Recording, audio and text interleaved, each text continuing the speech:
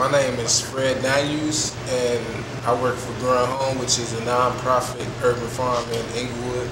We also extend to all the communities around Englewood, not just the focus is Englewood. So we deal with people from the Lawndale, and it's more diverse.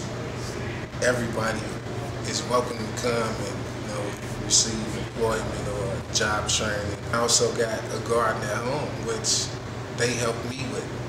So I go home from work and I'm at home tending to my own garden. There's now certain things I wouldn't buy, like I wouldn't, I can't necessarily say I wouldn't buy tomato out the store, but after growing it myself, I learned through going home in the program how to can tomatoes and how to make different things like salsas with tomatoes and put it up where I always have it when I'm ready to use it. So Growing Home offer a lot of things, workshops, tours, even help with seeds and things like that just to help start you off on the garden with the things you like. So it's a lot you can get from growing home just besides seeing things that's beautiful, but it's also a beautiful sight.